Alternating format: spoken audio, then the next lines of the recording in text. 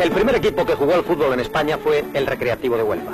Su fundación data de diciembre de 1889. Por el campo del velódromo pasaron grandes jugadores como Paco y Manolo Guzmán, Bustamante, Enrique Bravo, Justo Borrero, Juan Adams, Fuentes, Chazarri y tantos otros. Estas viejas fotografías son testimonio de la historia del balompié onubense. He aquí algunos de los trofeos conquistados por el Recreativo en su ya larga trayectoria. Uno de los torneos veraniegos más populares, el colombino, fue ganado por el equipo de Huelva en tres ocasiones. Cuando yo empecé a jugar, todavía el nombre era Huelva Recreación Club. Al poco tiempo ya le cambiaron al, Real Club, al Club Recreativo. Y después, en tiempos del, de ser ministro, don Manuel Burgo, consiguió el que nos dieran el Real Club Recreativo, o sea, la denominación de Real. La brillante campaña de ascenso llevada a cabo por el equipo ha sido sin duda fruto de la extraordinaria preparación impuesta por su entrenador Eusebio Ríos.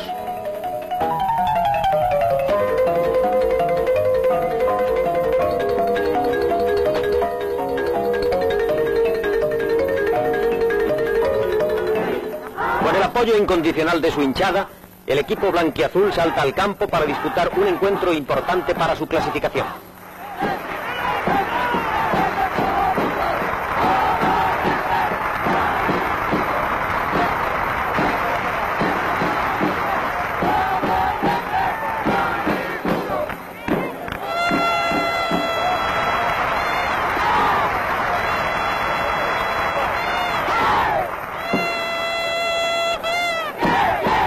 Antonio, ¿qué significa para usted el recreativo?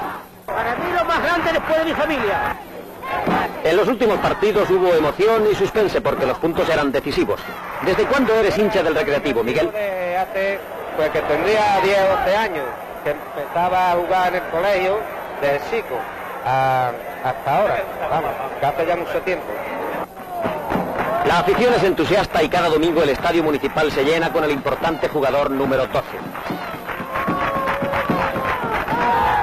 Pero ¿podrá el recreativo luchar con éxito en la división de honor? Eh, este equipo ha hecho una gran campaña durante toda la primera vuelta y creo que con cuatro o cinco fichajes con un poquito de suerte pod- podremos luchar perfectamente en la primera división. Esperemos que, como opina su presidente, el Recreativo de Huelva, pese a su corto presupuesto, haga en la próxima temporada un digno papel entre los grandes del fútbol español. Su historia y su simpática y ardorosa hinchada bien lo merecen.